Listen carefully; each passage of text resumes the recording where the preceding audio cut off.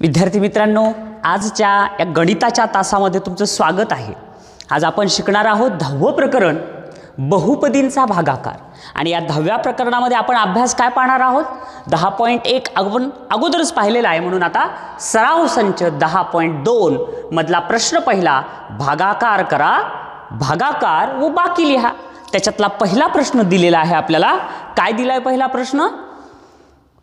पहिल्या कंसामध्ये वाय वर्ग अधिक दहा वाय अधिक चोवीस आणि नंतर भागाकाराचं चिन्ह दुसऱ्या कंसात म्हणजेच वाय अधिक चार. म्हणजे तिथं त्रिपदी आहे आणि इकडं द्विपदी आहे. अशा पद्धतीनं आपल्याला आता भागाकार करायचा आहे. फार सोपी क्रिया आहे. तुम्ही जर नीट लक्ष देऊन जर पाहिलात तर तुम्हाला सगळं काही समजेल. सुरुवातीला पारंपरिक पद्धतीमध्ये मांडून घ्या. वाय अधिक चार आणि इकडं वायचा वर्ग अधिक दहा वाय अधिक चोवीस एवढं समजलं?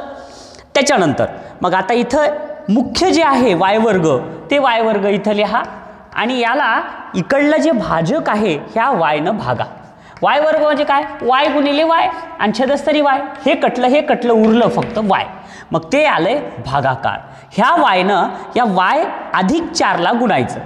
म्हणजे वाय अधिक चार गुणिले जर वाय केलं तर इथं येईल चार वाय अधिक वायचा वर्ग. वाय गुणिले वाय वाय वर्ग. मग जे गुणाकार आला तो इथं मांडायचा. वाय वर्ग अधिक चार वाय. ह्यांची आपल्याला वजाबाकी करायची. मग वजाबाकीमध्ये खालच्या राशीचे चिन्ह बदलतात. या वायचं चिन्ह धन होतं ते ऋण झालं.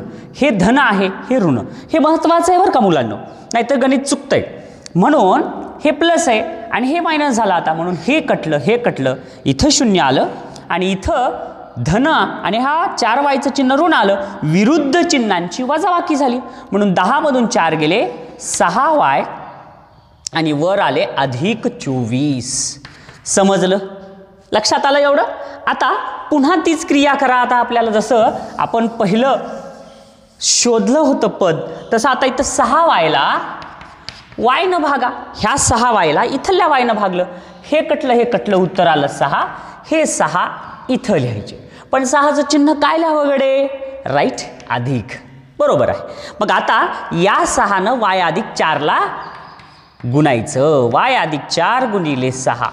मग सह्यान चोक चोवीस अधिक सहा वाय. मग आता जे आलं ते लिहा. सहा वाय इथं. सहा वाय अधिक सह्यान चोक चोवीस.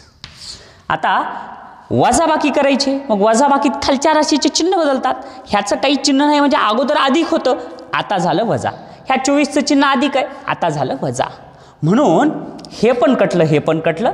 चोवीसमधून चोवीस गेले शून्य. आपल्याला सांगितलंय भागाकार व बाकी लिहा.